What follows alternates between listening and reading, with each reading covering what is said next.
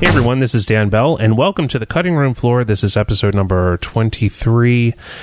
And on this episode, we're going to be talking about the Mothman's Lair video. Now, if you would like to see this video without my commentary, I will put it, well, without our commentary. Hour. I am here as well. I am joined by my producer, Will Krupinsky. Hello, everybody. You can follow Will on Twitter at Zombie Trill, and also I will put a link to Will's YouTube channel below, so you can check that out as well. Let's get into this. I have been fascinated by um, the Mothman story since I was a kid. I had a book, and if I'm not mistaken, I think it was by an author named Daniel Cohen. And in the book, he talked about the Mothman um, and I just always found it very fascinating. So I was like, let's go to Point Pleasant. Let's go check out the Mothman. And that's exactly what we did. Um, so anyway, this you're looking at here is the Mothman statue in Point Pleasant. It's an awesome statue. Yeah, it's really cool. I just read that the artist, the the man who did that statue, put this shot right here. Oh, that was amazing. I love that shot. Um, the but the guy who did the artist who did the Mothman statue just passed away recently. He This was a- yeah. Uh, I don't know if it was this year. I think it was last year. Oh, okay.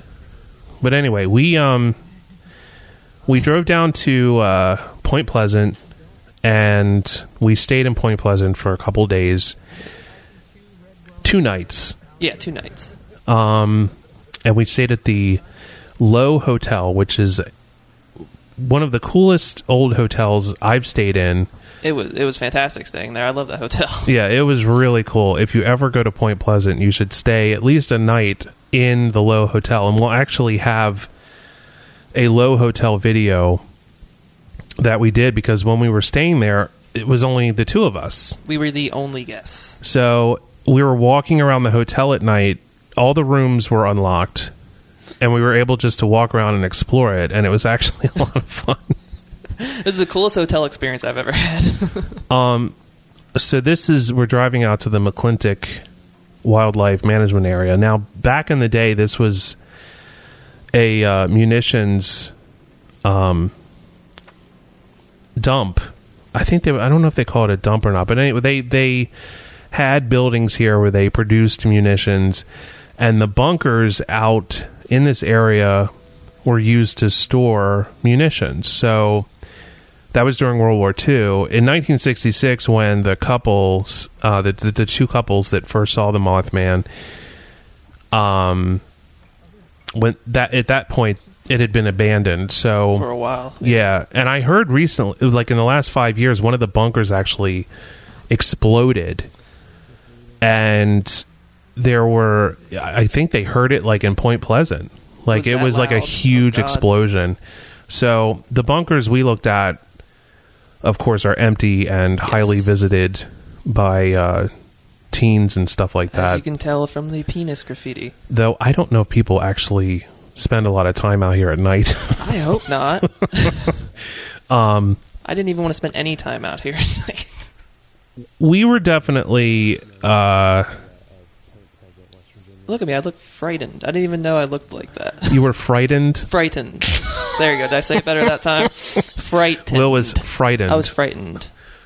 um i just remember when we got here and and i just want to make clear i don't believe in the mothman like i don't think there's a mothman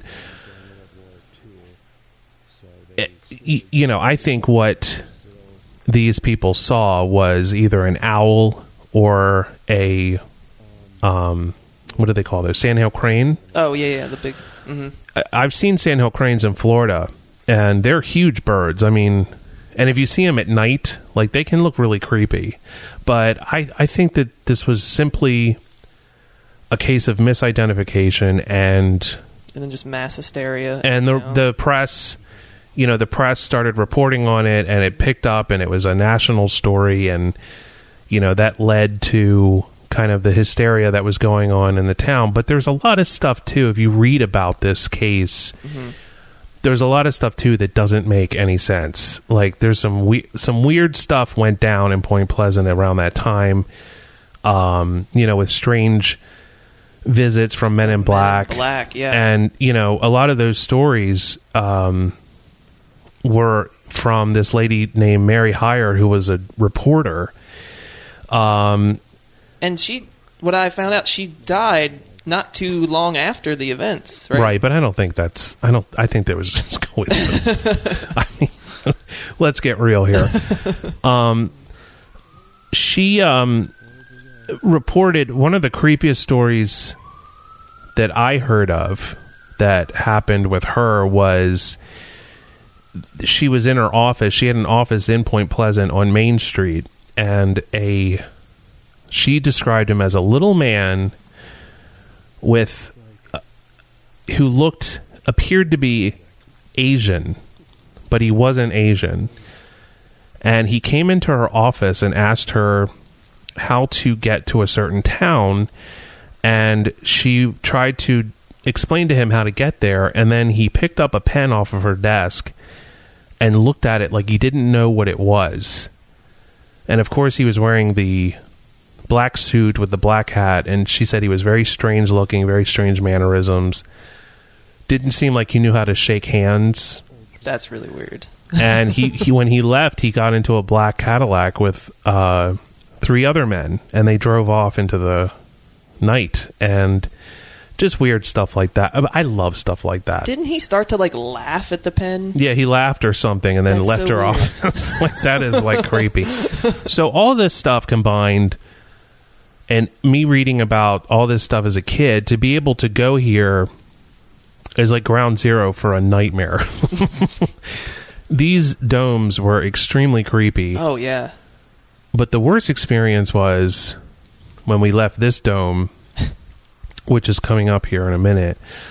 So I'll explain to you what happened. Wh- When I was monitoring sound through headphones, we walked out of this dome and I got about maybe six or seven feet and I heard a loud noise like um at first I thought you had fallen over. Oh really? That's what it sounded like to Yeah. me. That's when I turned around and then I saw you looking up into the um, bushes. Oh yeah. I was like, okay. but the weirdest thing was, as soon as I turned around, it sounded like in my headphones, like Morse code. What? yeah. I mean, you can hear it on this video.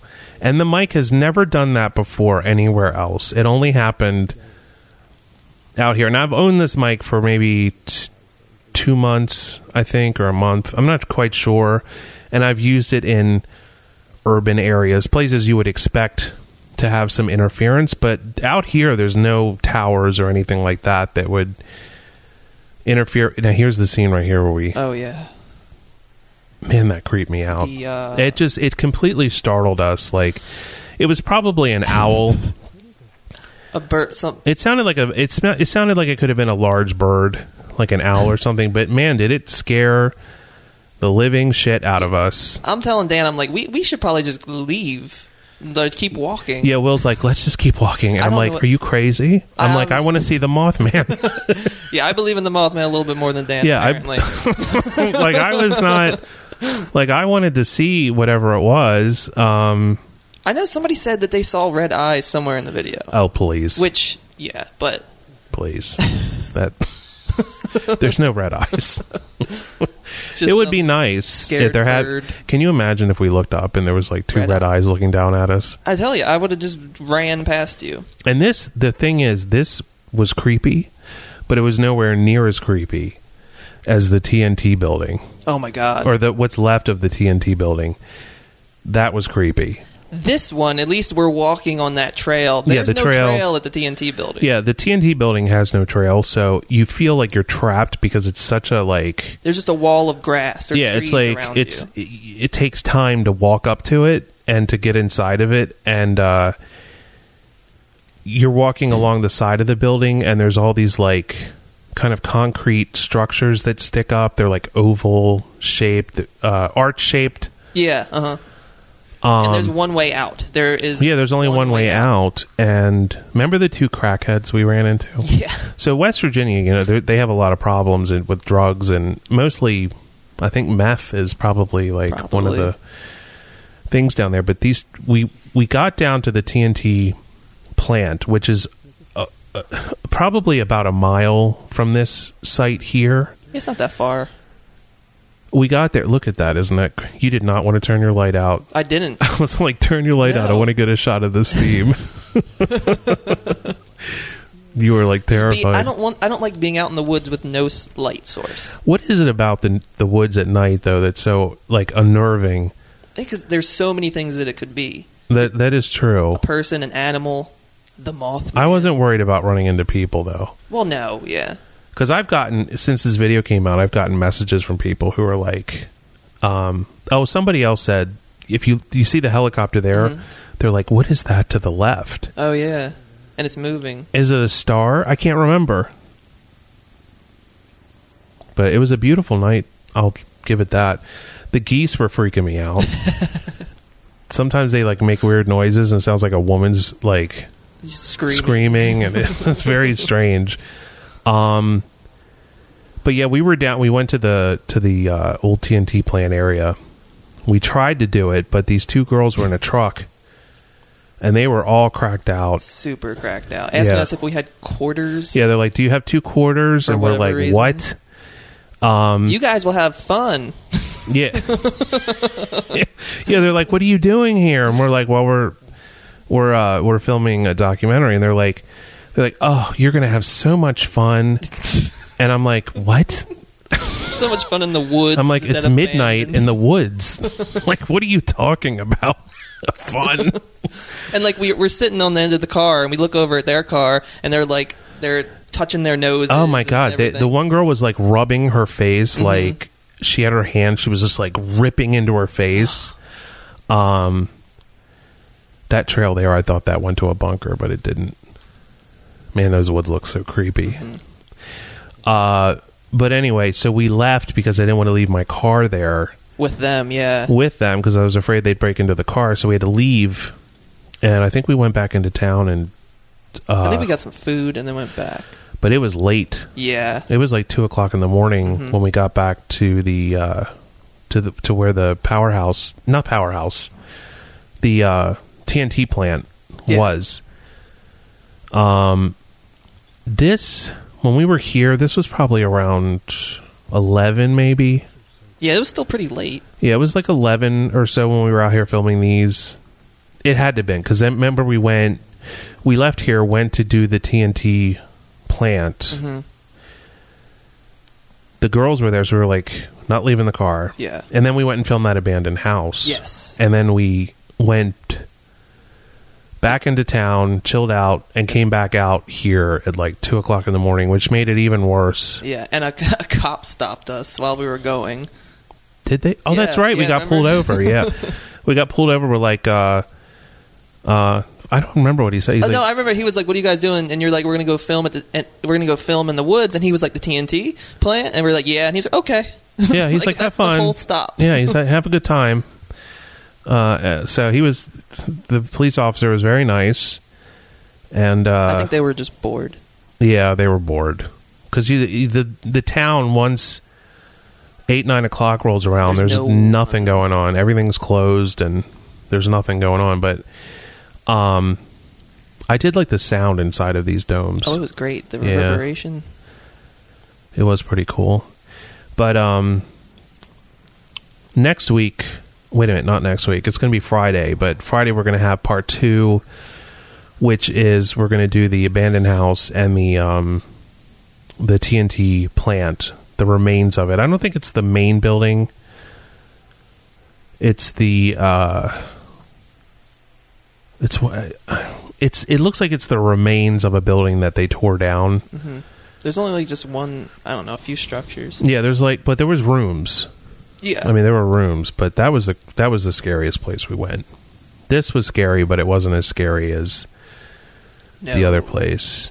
But I I really enjoyed filming this stuff. This I love the the the way the woods look. Yeah, it's very, it- I like, mean, Evil Dead kind just as like a just from a filmmaking standpoint, I mean, you couldn't have asked for a better looking environment. I mean, it's just so eerie looking, and you know, you're going through the brush, and then you see the door of the the bunker, and it's like, wow, you know, it's like. So I love this kind of um, situation, but yeah, I mean, I was a little on edge. I, did, I, you know, I don't think there's a Mothman, but all the stories and stuff kind of go through your head as you're doing this, and it's it's it's hard to. It's undeniably ominous out there at night. I mean, it's just a creepy place. Uh, but back in the day when when uh, this was all occurring, um, the roads weren't blocked, so people were You driving drive right back. thou- they said thousands of people were driving back into the uh, the uh, old TNT area looking for the Mothman. and no one has found. I don't think anybody found it, but a lot of people in town claim to have seen it. Yeah, But I think the original the original people who um, saw it, I think they've all passed away. I know that the one lady, uh, her name is Linda Scarberry. Uh, she was the one who first sighted it, and she. Uh, that's a great shot too. that is. Of course, I I, love when it- of course I did it. Of course, I love when it looks like you can't even see me right here, and it's just I my know. camera. That's awesome. But anyway, I know that the lady Linda Scarberry passed away, and uh, she had, you know, she gave a lot of information about what she saw, and you know, I'm not really here to uh, debunk. I'm not a debunker.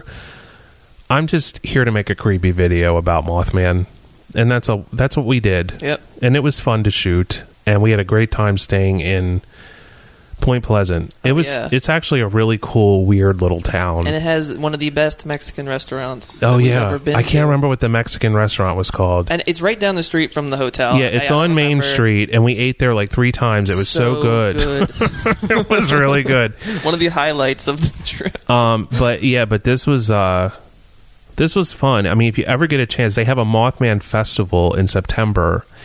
And uh, I would really like to go down That would be good. and go to that. That would probably be a lot of fun. But th- this town, good people, nice people, Mm-hmm. and uh, it's like you're stepping back in time. Yeah. It's like the weirdest thing because this town is literally like it's like you're in the 50s or something, except there's new cars driving around. But we had a lot of fun there. I mean, we just filming the whole time, never ending stuff to film. I love these cooling towers Those with are so the steam And I guess going a lot up of into the sky. wondered about those lights because they look like Yeah, that's why I like them because they look like two red eyes. Yeah. so cool. Um. Anyway, so if you want to see part two, it'll be up next Friday or this Friday, and uh, if it's already this Friday, Watch it. watch it and wait for the cutting room floor on that episode. And we're going to have a third episode. There's three parts to this. The third episode is is us at the Lowe Hotel. Hotel. So, um, and I want to thank, um, oh, I can't pronounce his name. This, This Pronk. I think it's this, something like that. What was I'll get the, screen? pronunciation. Anyway, he did the music. Fantastic composer. Go check him out on Facebook. Thanks for watching, guys.